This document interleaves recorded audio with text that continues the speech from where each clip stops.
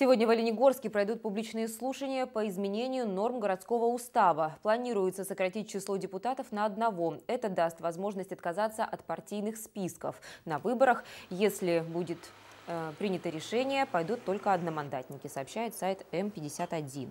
В слушаниях примут участие депутаты областного парламента. Оппозиция называет встречу битвой фракций. Депутаты из «Справедливой России» боятся, что на выборах в городской совет осенью этого года, если убрать партийные списки, победит только «Единая Россия». Сейчас в местном совете 20 депутатов. В этом случае выборы проходят по смешанной системе, по аналогии с областной думой. Но если депутатов будет всего 19, система изменится и нарезка округов будет будет новой.